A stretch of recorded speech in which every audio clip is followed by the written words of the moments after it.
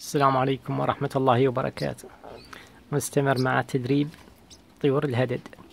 قبل لا نبدي بعض الأخوة يوصوني أن أعلي صوتي وأنا صارت عندي طريقتي وطبعي الخاص.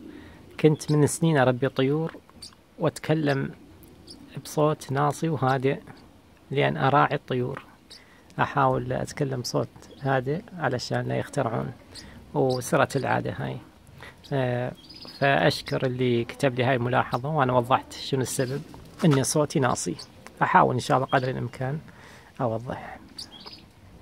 واستمريت بطريقة تمرين الهدد وبالحديقة داخل البيت أطلع طير واحد وهو جائع. نفس التمرين السابق ونفس الطير. وهو جائع. وهم اكتشفت شنو يحب. يحب حب الحب الشمسي أو دوار الشمس. أنطيه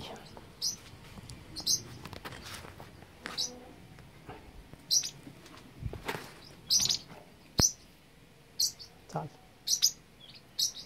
تعال تعال.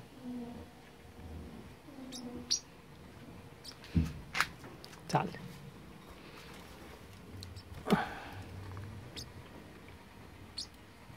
بالحديقة. نفس الشيء خليه على الشجرة.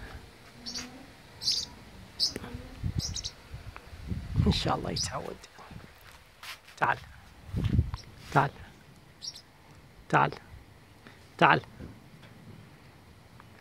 لأن أنا هاي الأيام اللي فاتت يومي أطلع قليل. حسيت في شوي استقر بالحديقة. وتعود على أجواء الحديقة.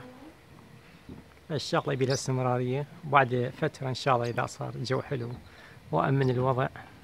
يعني لا طيور وحشية ولا شيء ولا جوارح يأكلون الطير. أحضره.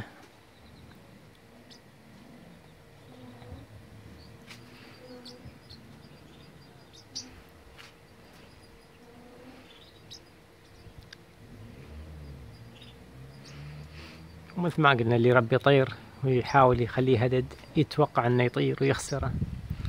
يعني الشغلة كلها مجازفة مجازفة. أما يثبت أو يخسره. أنا ربيت طيور وطلعتهم هدد بالغابة. بصراحة خسرت الطيور. كذا مرة يروحون ما يردون. يطيرون عند ناس. الناس يشوفونهم أليفيني يتونسون عليهم. أكو ناس اتصلوا علي يعني. ورجعتهم. تعال. تعال. تعال. تعال. تعال.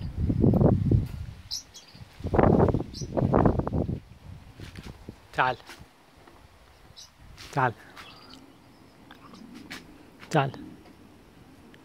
يحب يلعب لعبته المفضلة. تعال. تعال. هاك كيف القفاص خيشوفهم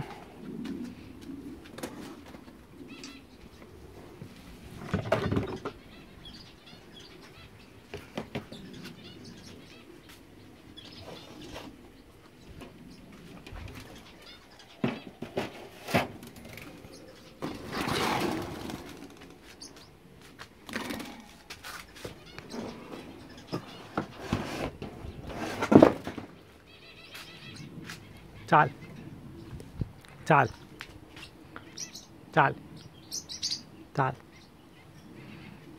चाल